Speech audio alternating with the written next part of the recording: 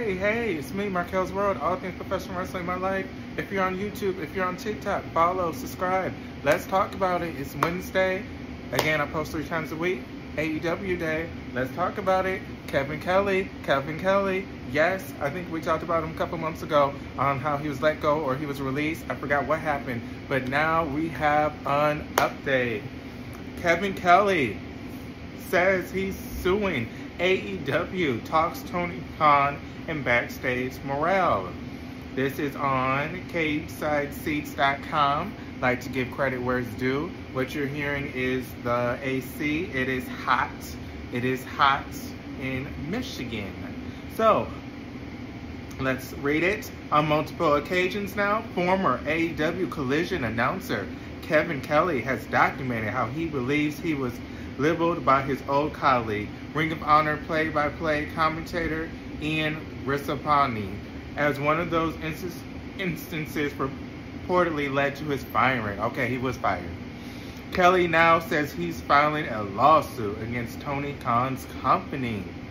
Okay, so he's really pissed off. I guess he was lied on, he feels like. It cost him his job.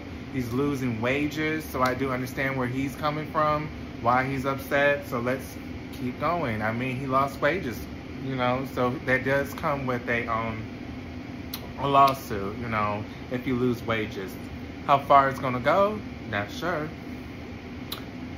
Kelly said, of course, he would sue AEW when asked about it during his appearance on Eric Bischoff's Wise Choice podcast. He then went on to have a conversation with one of the company's most vocal critics about what he saw behind the scenes during his brief time with AEW. Bischoff admits that he didn't spend much time backstage during his two appearances on Dynamite back in 2020. So he's basically saying, keep me out of this shit, Bischoff. I, I was only there a couple times, two times. I didn't go back there, so I ain't gonna talk shit. That's basically what they're kind of summarizing to. Um, then ask Kelly to tell him if he's right or wrong in thinking that Tony Khan has no understanding at all of creativity, has no understanding at all of television production, has no understanding at all on how to format a show. The former WCW and New Japan announcer replied, he's got good people around him that he doesn't utilize. His vision of what wrestling is for me works best on a small scale. People always wonder, why did PWG stay small? Well, they knew, I think they knew if they went big, it would go stale fast. He wants to appeal to a niche audience with his vision wrestling, but he thinks he can convince the people to watch on a grand scale. The other thing he's done, he's made himself the face of the company. He's the one going now on TV interview. It's like, man, that's not his skill set. So basically, you know, not dogging, but he's saying, I guess Tony Khan is kind of taking the spotlight and is the face of the company. When I think about AEW, I think about Tony, um, Toni Storm. I got them mixed up.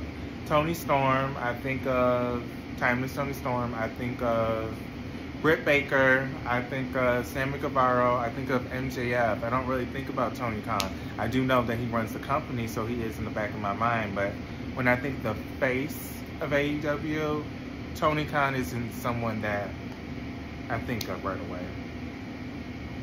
Mm. Bischoff also asked about the morale at AEW, and Kelly told him it's the same as has been reported. What I've always known. I don't know, got this cough that won't go away. And it's trying to embarrass the hell out of me, but I just keep trying to read over it. Anyways, I'm not even gonna edit that out. It's the same as has been reported. What I've always noticed was that there were a lot of people that weren't there that weren't being used, that wanted to be used, that had creative ideas, but that weren't getting through. So there would be a conglomerated line of people outside Tony Tony's office waiting to get in to see him. And there's nothing wrong with that. But I don't ever remember a long line of wrestlers wanting to get into Vince McMahon. There were people to, to talk to. You could talk to Pat Patterson and Jerry Brisco. you could talk to Jack Lanza. There were agents that were respected that had Vince ear that could take your message and say, hey, so-and-so's not happy with what's going on. Okay, that's a little different than WWE. I do hear they have agents that sometimes they talk to the talent. So, um, it does make sense. It is a little different. It is a little different. But um, Kevin Kelly is suing AEW. Um, don't know if this is going to be bad publicity. Don't know if AEW wants to be known for being sued, but um, they are being sued supposedly. But um, that's the news for today. Life update was off Juneteenth today. Was running errands tomorrow. A friend and her daughter. Well, a friend. Well, they're like family. Um, they're coming over for spaghetti night, so I'm cleaning. I went shopping today for the ingredients. They like my spaghetti, so I'm preparing for that. I hope everyone is well. Again, I'm preparing for my dinner. I'm making dinner for a, family friend and her daughter, so that should be nice tomorrow. Hopefully you guys are staying cool. It is hot here in Michigan, so hopefully you guys are staying cool. But somebody is ringing my doorbell, so I'll see you guys on the next video. Peace.